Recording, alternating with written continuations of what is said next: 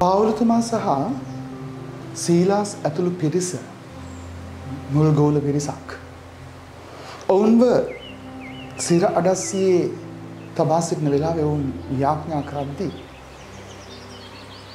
මහා ගිගුරුම් හඬක් එක්ක ඒ වසා තිබුණු සියලුම සිරගෙවල් වල දොරටු ඇරෙනවා.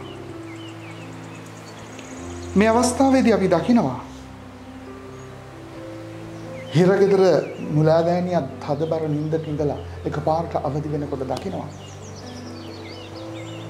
ඔහුගේ ඒ සිරගෙවල් ඔක්කොම ඇරලා දාලා.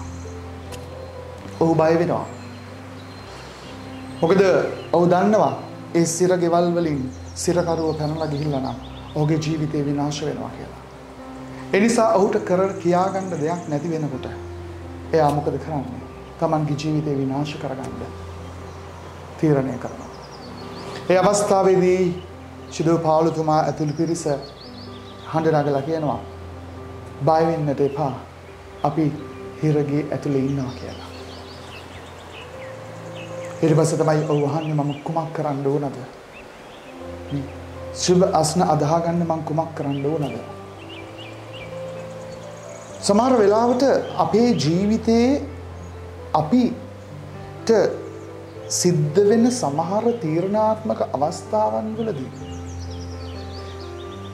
දෙවියන් වහන්සේ එය මෙහෙවන වීදිය හරි වෙනස් හරි සුවිශේෂයි. ප්‍රමන්තනි ජීවිතයේ සර්ව සම්පූර්ණත්වයක් කරා යන ගමනේදී අපි හැමෝගේම ජීවිතවල දුර්වලකම් වැරදීම් අතපසුවීම් ජීවිතේ වැටීම් ජීවිතේ නැගිටීම් ජීවිතේ ජයග්‍රහණයන් ජීවිතේ සැමරීම් ජීවිතේ දුක්වීම් මේ හැමෝත් හැමත් දෙයක් එක්කම යහපත්කම් අයහපත්කම් ශ්‍රද්ධාවන්තකම අවිශ්වාසවන්තකම නිධර්මිෂ්ඨකම අධර්මිෂ්ඨකම මේ හැමෝත් හැමත් හැම දෙයක් එක්කම ශුද්ධවන්තය ශුද්ධවන්ත බව සහ අශුද්ධ බව දෑමි බව සහ පෞකාර බව මේ කියන හැම එකක් එක්කම අපි මේ ගමන දෝලනය වෙමින් යනවා. අපි මිනිස්සු හැටියට අපේ ජීවිතයේ හැම මොහොතකම අපිට එකම මට්ටමකට ඉන්න පුළුවන් වේද නැද්ද කියලා අපි දන්නේ නැහැ. මොකද අපි මිනිස්සු නිසා. ජීවිතේ හැම මොහොතකම නමුත් අපි අවබෝධ කරගන්නට ඕන දෙයක් තමයි. ජීවිතයේ සමහර වෙලාවට අපි වැටිලා අපි විනාශ වෙනවයි කියලා දැනෙන සමහර මොහොතවල් වල. අපේ ජීවිතේ ඉවරයි කියලා. අපි අපිට එතනින් එහාට තියෙන්නේ මරණය කියලා අපිට දැනෙන සමහර මොහොතවල් වල. ස්වාමීන් වහන්සේ මා පුදුම විදිහට ඒ ප්‍රශ්නය අපේ ජීවිතය තුළින් අයින් කරනවා. ස්වාමීන් වහන්සේ පුදුම විදිහට අපිව ආරක්ෂා කරනවා. අපිට ආදරය කරන පිරිසක් අපිව ගොඩනගනවා. අපේ ජීවිතය හැම මොහොතකම අපිව නගා සිටවන්නට අපිට හිත දෙන්නට අපිට අත දෙන්නට අපිව තේරුම් ගන්නට පිරිසක් අපිත් එක්ක එකතු වෙනවා. මේ තමයි ජීවිතය ප්‍රමාන්තය. මේක ඔබේ ජීවිතේත් මගේ ජීවිතේත් අපි හැමෝගේම ජීවිතයට පොදු සාධකයක්. එනිසා ස්වාමීන් වහන්සේ අපිව කවදාවත් අත් නොහරින දෙවි කෙනෙක්. උන්වහන්සේ අපිව කවදාවත් ඉවත නොදමන දෙවි කෙනෙක්.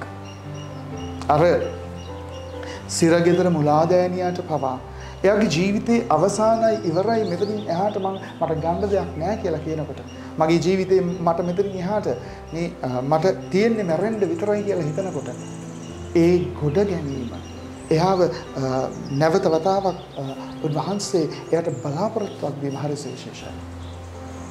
ඒ නිසා උන්වහන්සේගේ අසීමිත වූ ආදරය තුළ අපි යාඥා කරන මේ මොහොතේදී අපේ ජීවිතේ මොකක් වුණත් මොන දේ වුණත් අපි අපිව අපි නොදකින අදෘශ්‍යමාන මහා බලයක් දෙවියන් නැමති ආත්මයන් වහන්සේ නැමති ඒ මහා බලය තුළ අපේ ජීවිතය අරගෙන යන ක්‍රමයක් තියෙනවා විදිහක් තියෙනවා.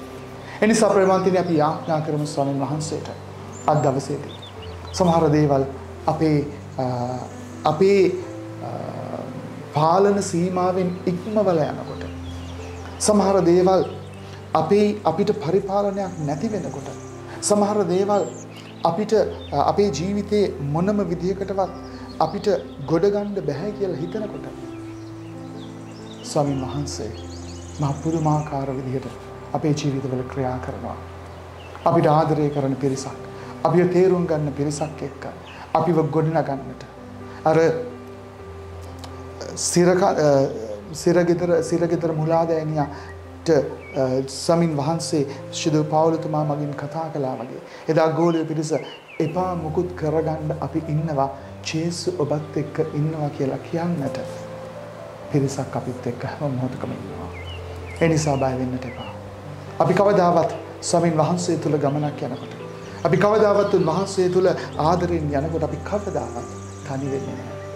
අපි කවදාවත් විනාශ වෙන්න නෑ. විනාශ වෙන්නට විනාශ කරන්නට කවුරු උත්සාහ කළත්.